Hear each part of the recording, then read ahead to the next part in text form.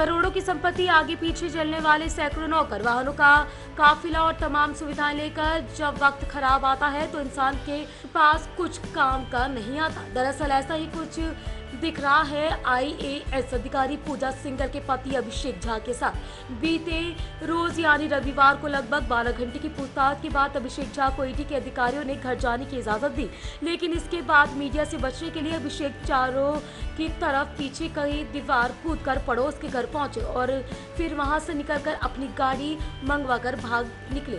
हालाँकि तमाम प्रयासों के बावजूद भी मीडिया कर्मियों की नजरे से बच तो नहीं पाए, लेकिन पूरी तरह से पकड़ में भी नहीं आ सके। माना जा रहा है कि आज एक बार फिर उन्हें पूछताछ के लिए ईडी के दफ्तर पहुँचना है। याद दिलाते चले कि ईडी अधिकारियों ने पाँच राज्यों में आईएएस अधिकारी पूजा सिंगल से संबंधित लोगों के कई ठिकानों पर छापेमारी की थी। इस छापेमारी में करोड़ की अवैध संपत्ति जब्त की गई थी।